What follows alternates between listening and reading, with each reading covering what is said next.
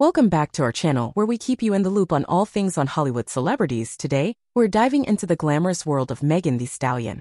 Megan Thee Stallion, the unstoppable force of talent, took New York City by storm as she braved the chilly temperatures on her way to the Saturday Night Live after party.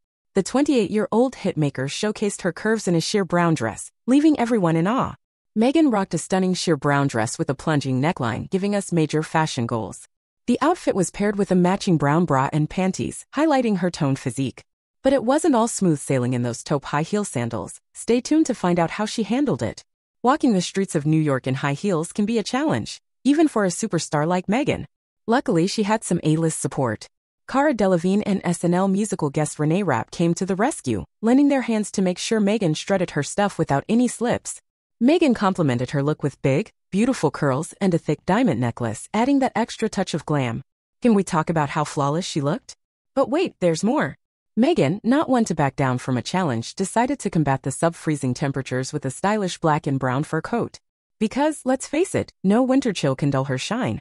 The Savage singer surprised everyone by joining Renee Rapp in a live performance of It's Not My Fault from the new Mean Girls soundtrack. The unexpected duo brought the house down, proving once again that Megan Thee Stallion knows how to steal the spotlight. Don't forget to hit that subscribe button and ring the notification bell so you never miss out on our exclusive updates.